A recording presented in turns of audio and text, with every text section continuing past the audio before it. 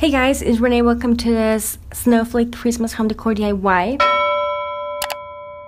For this one, we need a bunch of wood craft sticks. I'm using the jumbo ones and I'm actually going to be cutting them in two with my X-Acto knife like over my mouse pad because I couldn't find the uh, the medium size. But if you have access to them just go ahead and use those. I ended up using a bunch of them actually. I used two packs of 20 just so you know we're going to be needing a bunch of them. I'm going to be using my hot glue gun. The first one is the small one. For this one I'm going to be gluing one wood stick on top of the other like that in the middle. And then the third one like so like making a cross I'm going to be taking one wood stick and I'm just going to mark where I'm going to cut it. I'm going to cut it with my cutters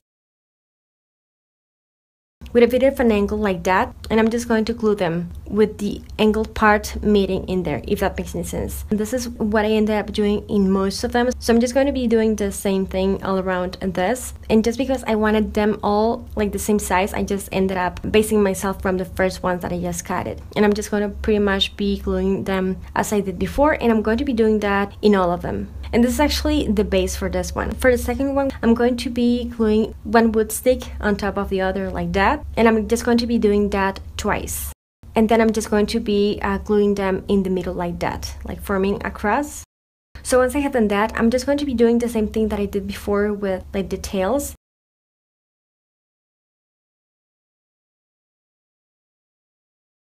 Followed to that, I'm going to be uh, gluing another one, a bigger one. I'm going to be doing the same thing but just bigger. And yeah, I'm just going to be doing the same thing in all edges.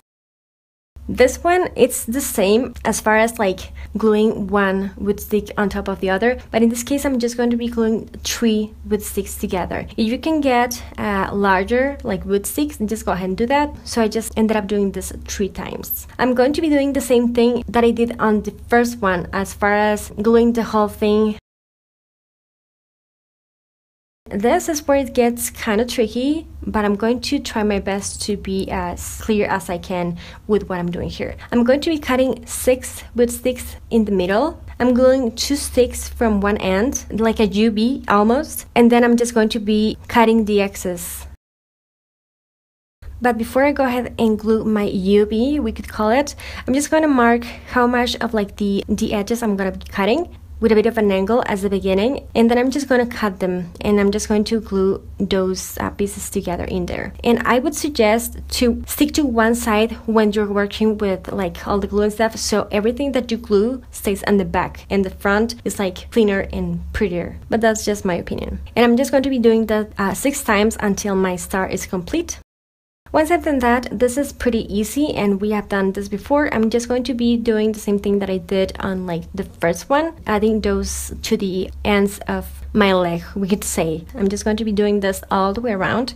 I'm going to be painting this with wet acrylic paint and a brush and I'm just going to be covering front and edges. I actually gave this two coats. I didn't cover the back of it because the back of it's going to be like pretty much facing the wall. So I didn't see a point on like painting the back if it's not going to be visible anyways. But that's again personal preference. And then to make this nice and shiny, I'm going to be using this glitter glue and a brush. In person, it shines a lot. It was the first time that I tried this by the way. It's actually pretty easy this one to use. I wanted my snowflakes to look shiny but not tacky shiny, if you know what I mean. This works perfect for that. The glitter on it is just beautiful and I liked it because it's pigmented. It wasn't as sheer as I thought it was gonna be. I actually applied two coats of this, super easy to apply, it dried fast and yeah, I totally recommend this one. But yeah, I'm just going to be doing this in all of them.